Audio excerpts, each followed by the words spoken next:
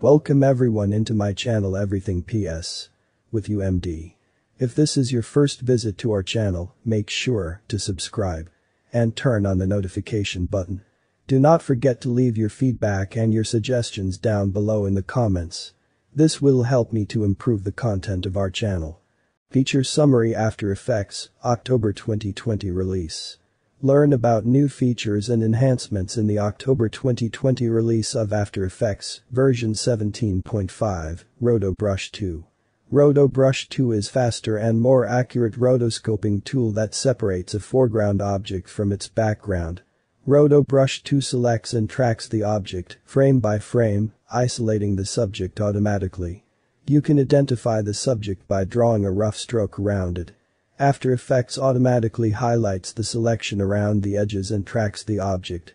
If you don't like the selection, you can simply add or remove areas of the selection using intuitive keyboard commands. Though the UI remains the same overall, Roto Brush 2 is different because it uses machine learning solution to propagate selections over time, making the tedious process of rotoscoping a quick and easy task. For more information, you will find a link in the description box.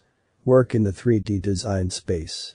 Developing 3D content is a common workflow for motion designers today. This release introduces a new mode to help you design and composite 3D content natively in After Effects. You don't have to constantly jump back and forth between 3D applications just to animate a single scene. This mode helps you make working in 3D faster and more approachable. This release introduces the 3D transform gizmos and improved camera tools in the 3D design space. For more information, you will find a link in the description box. 3D transform gizmo. The 3D transform gizmos allow you to rotate, scale and position a camera Similar to Adobe Dimension, the 3D Transform gizmo gives you the power to see how far you have repositioned the camera, the amount of rotation you have applied, and how small or large you have scaled. The camera can also be controlled using the new keyboard shortcuts, which make it easier to switch between them. Instead of having to select a specific gizmo, you can hold down the Option key on your keyboard and use different mouse buttons. Left, middle and right to orbit, dolly and position the camera. When done, simply deselect the option button and you are right back to the original tool you were using. For more information, you will find a link in the description box. Improved camera tools for navigating 3D space give you more flexibility and control over the objects in your scene. Unlike earlier versions where you can only orbit around the center of your screen, you can now select a focal point and orbit, pan, and dolly around a scene layer, viewing it from every angle.